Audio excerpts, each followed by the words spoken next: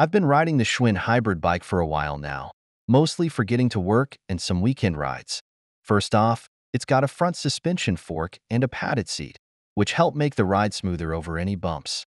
The handlebars are upright and adjustable, so finding a comfortable position is pretty easy.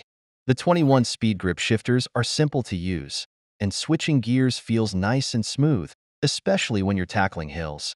The brakes do their job well, stopping the bike quickly when you need them to. I also like that I can adjust the height of the handlebars to get it just right for me. The bike comes with fenders that keep dirt off when riding through puddles, and the rear cargo rack is handy for carrying things. The frame is lightweight but sturdy, and the 19-inch size fits me well. I'm about 5 feet 11 inches. It seems like it would be a good fit for anyone around 5 feet 9 inches to 6 feet 1 inch. The Schwinn hybrid bike has been a good, reliable bike for my everyday rides.